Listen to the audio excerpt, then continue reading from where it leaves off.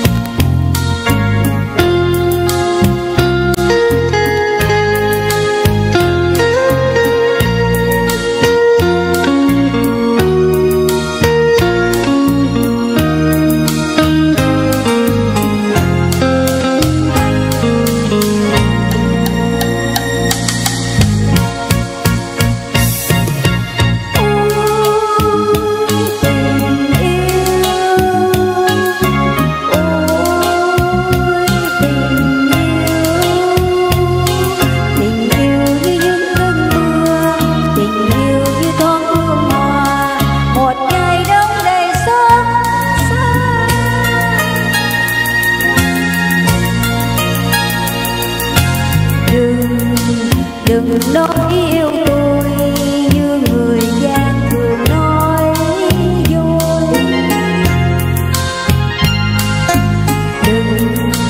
Đừng đừng nói yêu